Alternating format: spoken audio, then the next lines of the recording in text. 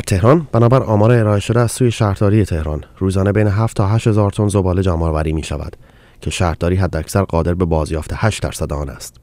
بقیه مواد بازیافتی مانند کاغذ، پلاستیک، نان خشک و آهن یا مستقیم از خیابانها و سطلهای زباله یا در مکانهای انبار زباله جدا می شوند.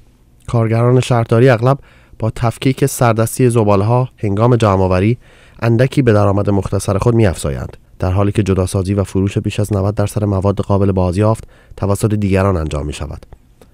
این چرخه از کسانی که کیسه به دوش سطلهای زباله را زیر رو می کنند آغاز می شود به انبارهای جمعآوری مواد بازیافتی می رسد و بعد از طریق واسطه ها به کارخانه های ذوب پلاستیک یا مقواسازی در اطراف تهران منتهی می شود. در نگاه اول کار این افراد بسیار مفید و قابل دفاع به نظر می رسد.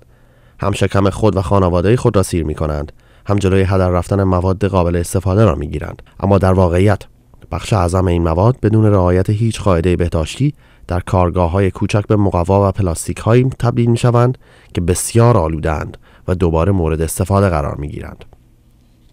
اما مایه نگرانی تنها زباله نیست بلکه محل دفن و نحوه دفع زباله نیز از نکات مهم بهداشتی است معاون خدمات شهری شهرداری تهران ضمن اشاره به ارتفاع 85 متری زباله های دفن شده در کهریزک از دفن 20 میلیون تن زباله طی چهل سال گذشته در این منطقه خبر داد. و اضافه کرد عمق دریاچه شیرابه ایجاد شده در این منطقه 150 هزار متر مکعب است که حاوی 10 میلیون متر مربع گاز متان می باشد اما بیماری های ناشی از دفع ناقص زباله چیست؟